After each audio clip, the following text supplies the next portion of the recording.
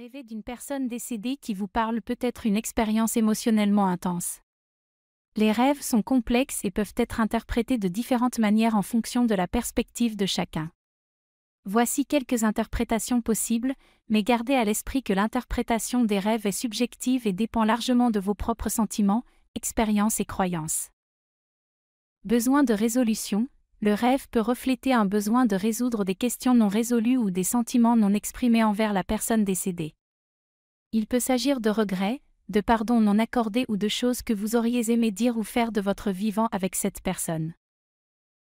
Deuil inachevé, si vous n'avez pas complètement fait votre deuil, le rêve peut être une manifestation de votre chagrin.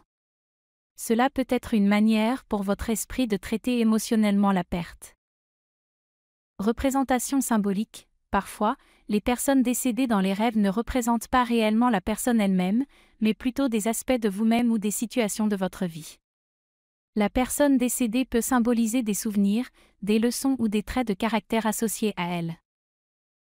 Communication spirituelle, selon les croyances, certaines personnes croient que les rêves peuvent être un moyen pour les esprits de communiquer avec nous. Si vous croyez en des dimensions spirituelles, vous pourriez interpréter le rêve comme une tentative de communication de la personne décédée.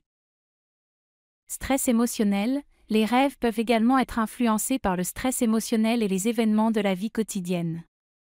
Si vous traversez une période difficile sur le plan émotionnel, cela peut se refléter dans vos rêves. Il est important de noter que les rêves ne sont pas toujours littéralement interprétables, et il peut y avoir plusieurs couches de signification. Si le rêve vous perturbe ou si vous avez des questions persistantes, il peut être utile de discuter de vos sentiments avec un professionnel de la santé mentale. Cela peut vous aider à mieux comprendre les émotions sous-jacentes et à trouver des moyens de faire face aux défis émotionnels éventuels.